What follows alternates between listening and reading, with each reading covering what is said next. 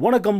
இன்றைக்கி நாம் என்ன பார்க்க போகிறோம்னு பார்த்தீங்கன்னா மதுரவாயிலில் பள்ளி மாணவர்களுக்கான விஞ்ஞான திறன் போட்டிகள் நடந்தது. அதில் சுவாரஸ்யமான ஒரு சில விஷயங்கள் நடந்தது. மாணவர்களுடைய அறிவுத்திறன் மென்மேலும் வளர்ந்துக்கிட்டே தான் வருது. அதை பற்றி நம்ம முழுசாக பார்ப்போம்.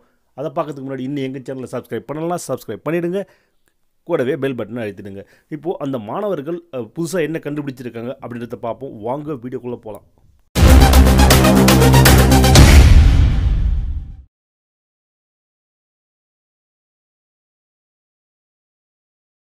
தமிழ்நாட்டில் பார்த்தீங்கன்னா சென்னையில் மதுரவாயிலில் பள்ளி மாணவர்களுக்கான விஞ்ஞான திறன் போட்டிகளில் எட்நூறு மாணவர்கள் கலந்து கொண்டு அதில் ஒரு கையடக்க செயற்கைக்கோளை உருவாக்கியிருக்காங்க.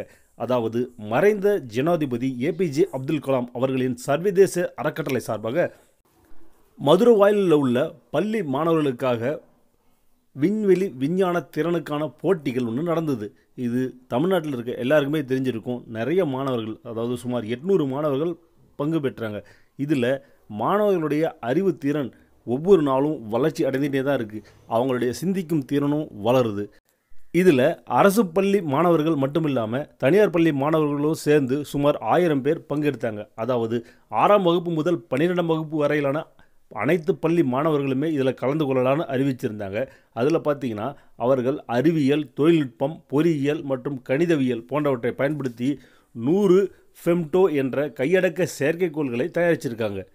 பள்ளி மாணவர்கள் தயாரித்த ஒவ்வொரு செயற்கைக்கோளுமே ஒவ்வொரு தனித்தன்மையுடன் உருவாக்கப்பட்டிருக்கு அப்படின்னு சொல்லியிருக்காங்க. மேலும் மாணவர்கள் இந்த செயற்கைக்கோள் வழியாக மழையின் அளவு காற்றின் நிலை மற்றும் கடல் சீற்றம் போன்றவற்றை கண்டறியலாம் அப்படின்னு சொல்லியிருக்காங்க.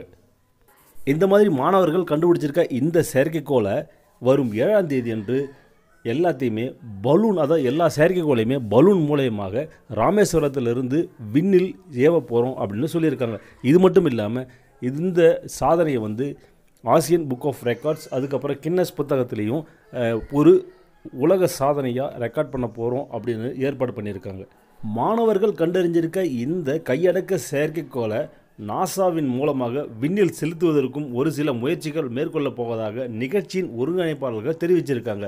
இது மாதிரியான மாணவர்களை ஊக்குவிக்கும் விதமான விஷயங்கள் எல்லாருமே பாராட்டிட்டு தான் வராங்க. உங்களுக்கு எதாவது பாராட்டு தெரிவிக்கணும்னு நினச்சிங்கன்னா எங்களுடைய கமெண்ட் செக்ஷனில் உங்களுடைய பதிவை நீங்கள் பதிவிடலாம். இந்த வீடியோ பற்றின தங்களது மேலான கருத்துக்களையும் எங்களுடைய கமெண்ட் செக்ஷனில் போஸ்ட் பண்ணுங்கள் அதுக்குண்டான ஆன்சர் நாங்களும் போஸ்ட் பண்ணுறோம் தேங்க்யூ